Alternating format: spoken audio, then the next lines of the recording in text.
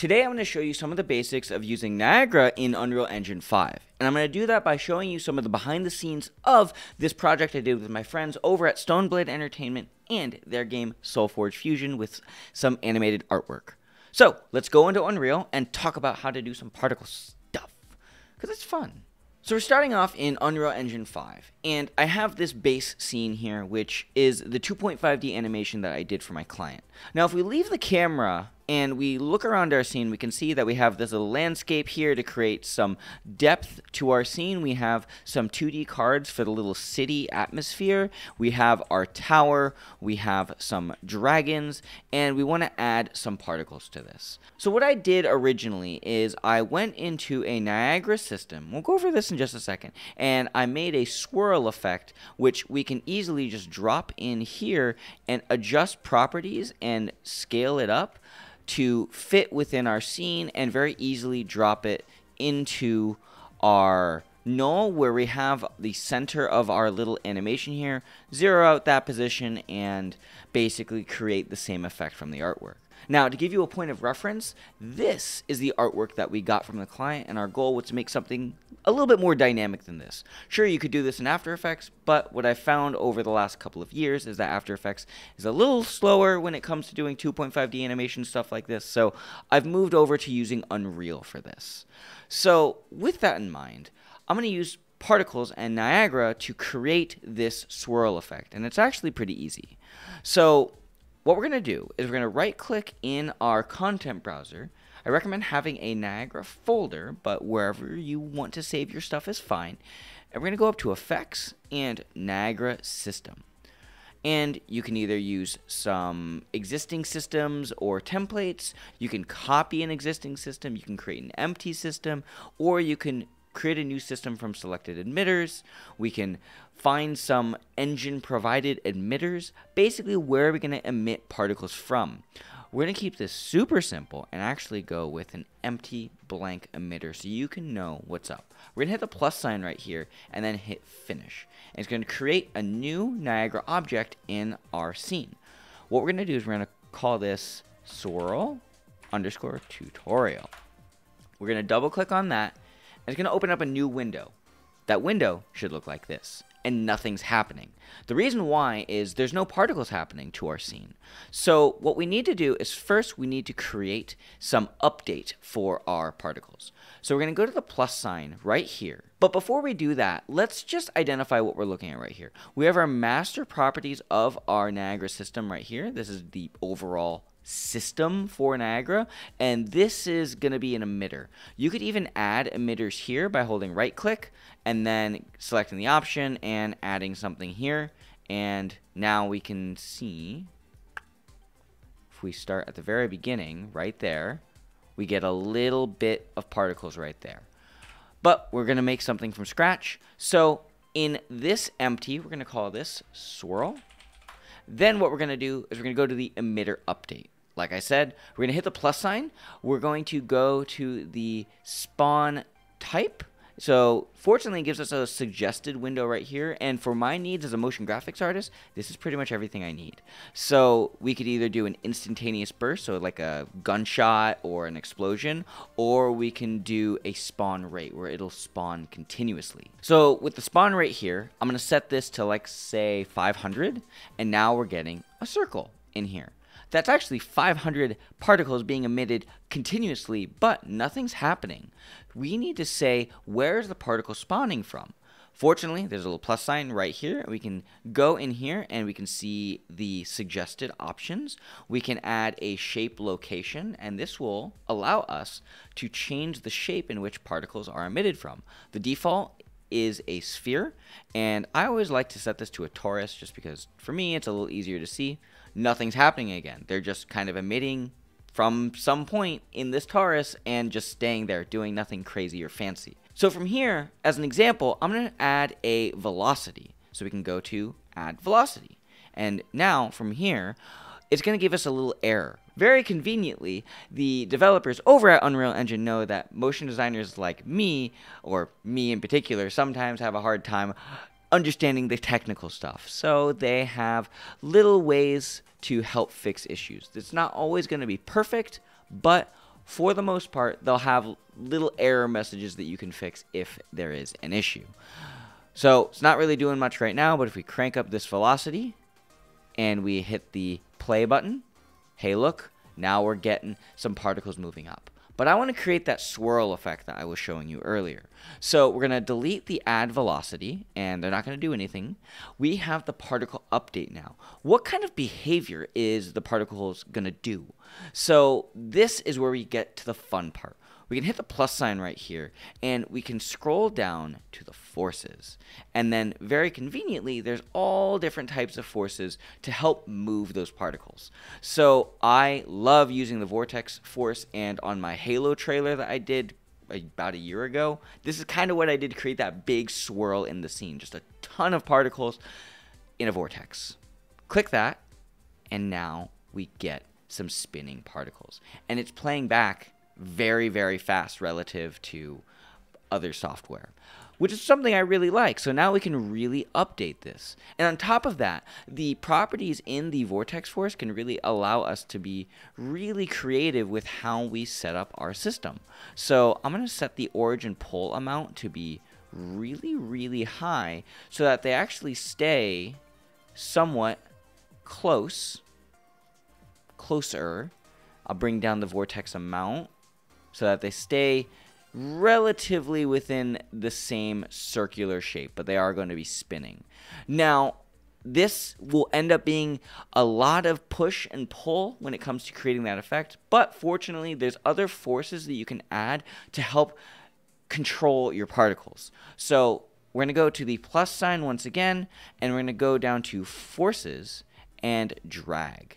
And this will create some drag. And I don't fully understand physics, but I know it'll slow down after the velocity has initiated at some point. So I'll just crank up the drag just a little bit so then the particles stay within this circular shape. And then I can just push and pull this as I need. So I'm going to fuss with this for a second and get something that I like. A few moments later. So after just a little bit, I did adjust these settings. So my vortex force amount is about 400. The pull amount to the origin is about 100. And I set the drag to 1.84. These numbers will differ for you, but I just want to give you them just in case you're trying to replicate what I'm making. On top of that, I did also go into the shape location and I increased the radius and the handle scale to these numbers just in case you want to adjust that as well. So I have this cool looking swirl that is getting me to where I want to be. Now what I want to do is I want to be able to control these particles a little bit more. So if we hit the plus sign and we go to scale color right here, we can add this or we can go down to the color tab and add some of these other options. But I like using scale color. It just makes more sense to me in my technical brain, but you can do lots of things. We're going to add the scale color here, and it's going to give us a new property that we can change. And it's going to allow us to change the scale on a value of 0 to 1 for the red, the green, and the blue, RGB.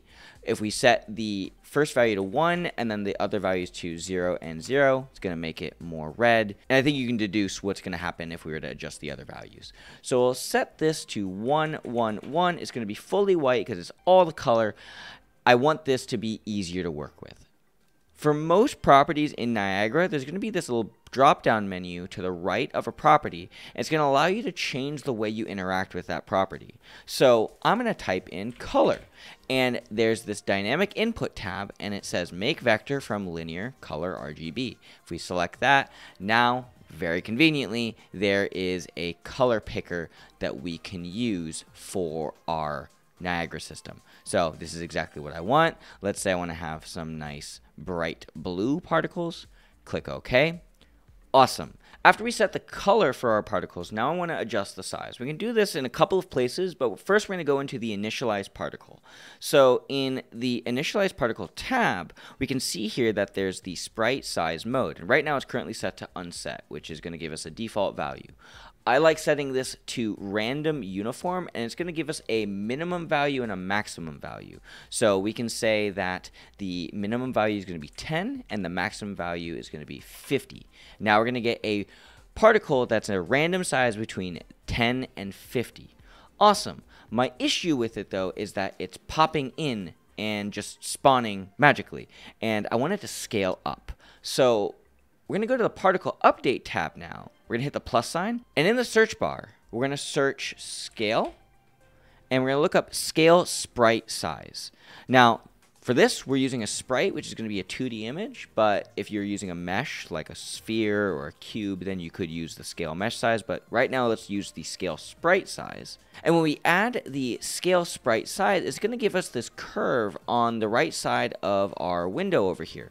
And basically what this is telling us is at the start of the particle's life, it's going to be a scale of zero, but at the end of its life, it's going to be its maximum scale.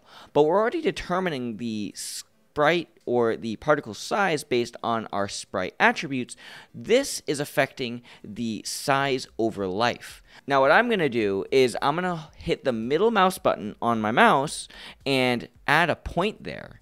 And then I'm going to drag this to the very top, just like that. So it's at a value of 1 just like that. We can actually adjust the key data. So the first value here is going to be our time, and the second value is going to be the value. So we're going to set the value to 1, and let's say the key data, I'll set this to 0.2. So let's say it has a, a lifespan of 10 seconds. At the 2 second mark, 0.2, it will have its full size of life. Now, I want this to last for most of it. I'll add another keyframe here and then drag this last keyframe down and set the first value to zero. So at the end of its life, be a scale of zero. So now it's going to scale up and scale down. And now we're getting something pretty cool.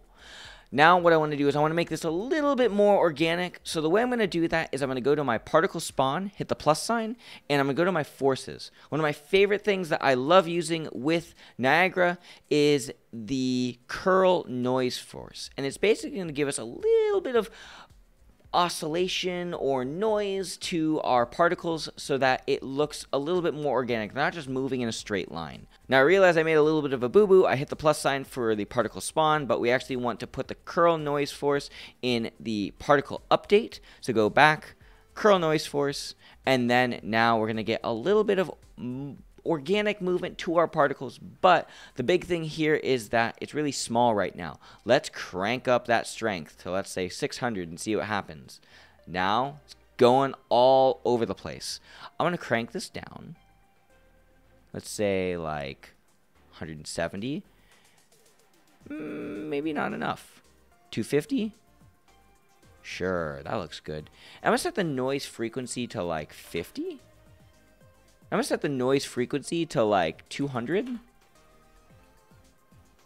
Maybe I'll bring up the noise strength just a little bit. So now the particles are kind of moving everywhere, all over the place. This is perfectly fine for this tutorial. For you, make sure you update it however you want. I want to move on to the final piece, and that is adjusting the type of particle. So we're going to go down to the sprite renderer right here. And this is basically saying, what are we rendering? What are these particles actually going to be? You can add even more stuff here. You can add a mesh. You can add a light. You can add some other stuff, but I'm not going to do that right now.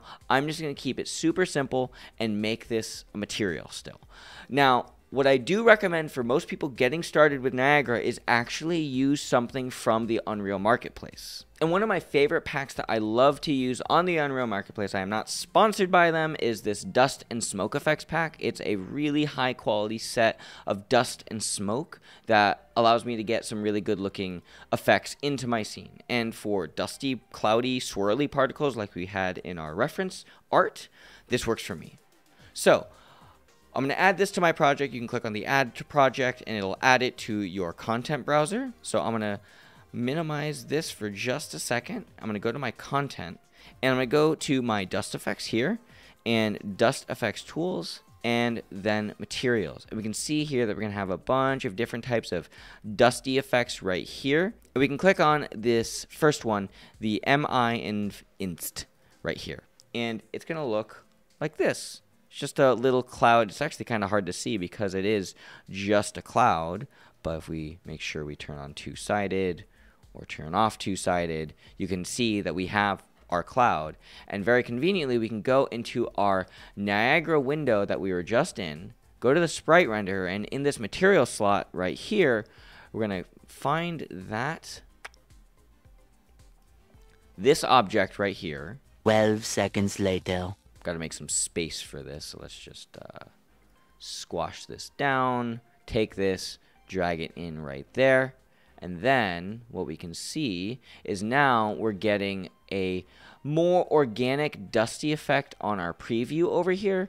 But my issue with it is it's much, much too small now because the material and the actual particle default are different scales. So let's just adjust these numbers. I'll set the max size to let's say 300 and the min size to let's say 50. And that's looking pretty, pretty cool if you ask me. It's not perfect and it's not as organic as what I did in my actual example for my client, but it gets the point across for this tutorial. So after all of that, I would hit save. And then what I can do is I can delete this swirl that I have in my original scene. And then we are going to go back to our content browser. We're going to go to our Niagara presets or our Niagara folder click on the swirl tutorial, drop it into our scene, and then we're just going to zero it out exactly where it needs to be. And just scooch it into place right there. And what's really convenient about this is if we hit the W key or the, the R key for scale and we hold control and scale this up, we can just scale it up just a little bit to create our shape around our scene. We can rotate this as we need. And what's really cool is that we can actually adjust some of the properties directly in our details panel. But there's none of them there right now. The reason why is we need to actually set some of these properties to be adjustable. So we're going to go back into our swirl Niagara particle system and maximize this window. I want to be able to adjust some of these properties in my details panel. So to do that, very conveniently, there's this user parameters window right here. Now, the easiest way to get stuff into the user parameters folder right here on the lower left-hand corner is find a property that you want, click on the little drop-down menu that's to the right of a property in the Niagara window, and we're going to type user and read from new user parameter, and it's going to create a parameter right here. We're going to do that for a couple things that I like to change, but you can build a Niagara system however you want.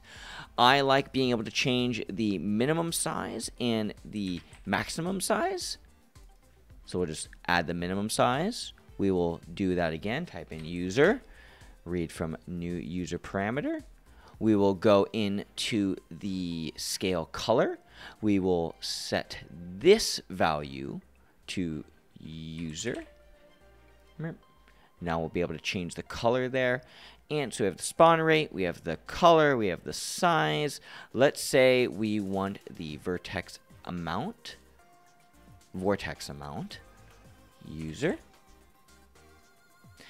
And that should be good enough for this tutorial. So we're to hit save on that. Make sure that saves in the background, and then we're to minimize that. And we can see here that we have our swirl in our scene.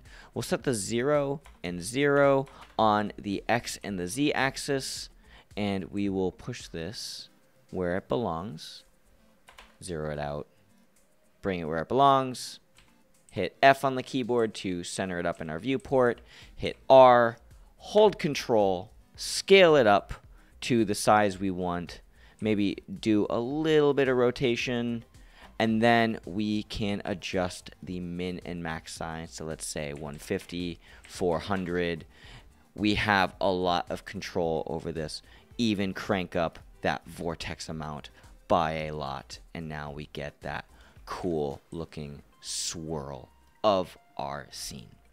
So for this tutorial, this should get you started with how I set up the Vortex stuff in my behind the scenes for the Stoneblade project. And I hope this answered a lot of questions on how to use Niagara, and if it did, let me know in the comment section down below, and if you want more tutorials on Niagara or just Unreal in general, let me know down there as well.